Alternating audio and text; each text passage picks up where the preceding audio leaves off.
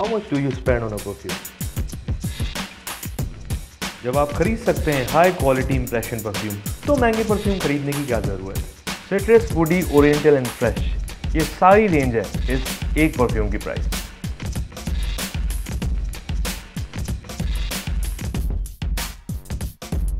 click below for more details